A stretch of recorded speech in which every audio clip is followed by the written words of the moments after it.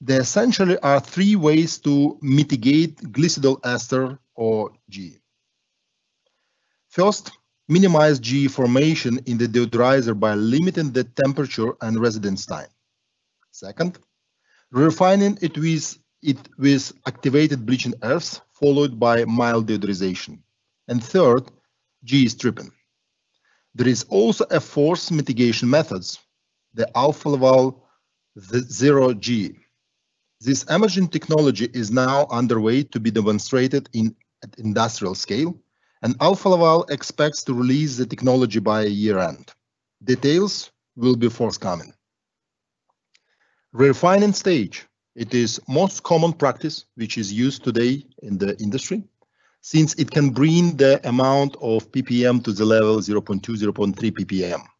Although it has high operating costs and capital investment if you're planning to build up the new plant having the refinery, since mild redeodorization is required after post-bleaching.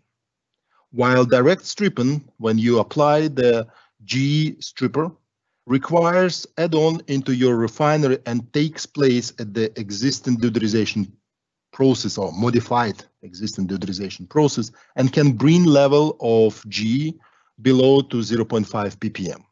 Of course, it is a subject of G, which content in the feed means how much G are generated during the deodorization and holding.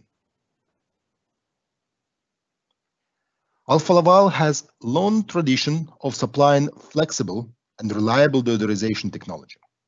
Here you see a timeline of the innovations the company has launched since the 1960s, building upon upwards trajectory with, with novel ways to addressing today's challenges, such as G mitigation. Alfa Laval Palm Flex refining is the most recent innovation in deodorization technology. Each generation of the technology includes experience gained from the previous model with focus on efficiency, operating cost, and investment. Tray deodorizer, the first which used for the, oh, it is a base for deodorization and typically has been used for chemical refined oils at the beginning. Later on, physical refinery of palm oil, of course, shifted to the run this process in tray deodorizer, but since of high cost and high uh, steam consumption lead to the introducing on the market packed column solution. Physical refinery by using packed column has been done by Alfa Laval as a pioneer in this industry. And since that time, we are staying on thin film technology till today. Soft column deodorizer, which became as a base or which has been based on the using packed column with introduction modularized units for the final heating and economizing under vacuum. Also, Fast drain valves, FDV, has been introduced as a part of soft column TM. It brings flexibility to retention time with aim to reduce or to control uh, TFM formation at uh, seed oil in seed oils. Dual strip has been launched 2009 and this is also thin film based technology and it is still thin film technology in the focus.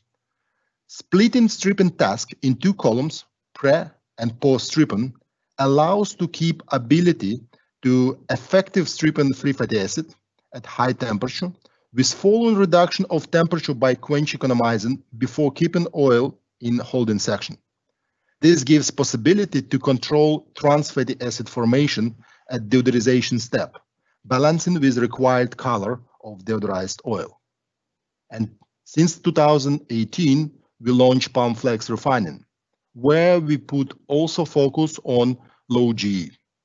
Dual strip still is base, which is modified or updated to this technology, while GE stripper, specially designed strip and column, which can hold the task of removing the GE.